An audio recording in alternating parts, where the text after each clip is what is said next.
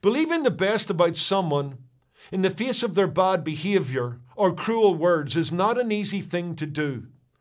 Suspending judgment in the hope of change involves love, takes faith, and requires hope.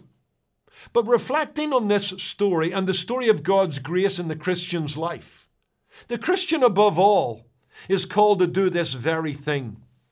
The man or woman saved by God's matchless and marvelous grace, more than anyone, should be willing to give someone a second chance.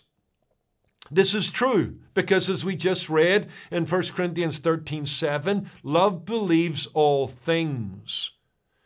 Our love, informed and transformed by God's love, is eager to believe the best.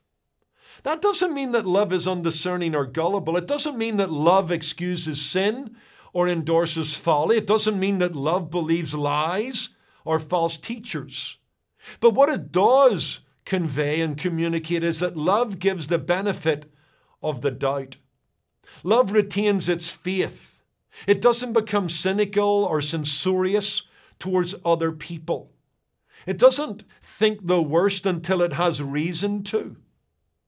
This is true also because the gospel has us anticipating that people can change through Christ. If anyone is in Christ, he becomes a new creature. And what they are is not how they will stay once touched and transformed by the grace of God.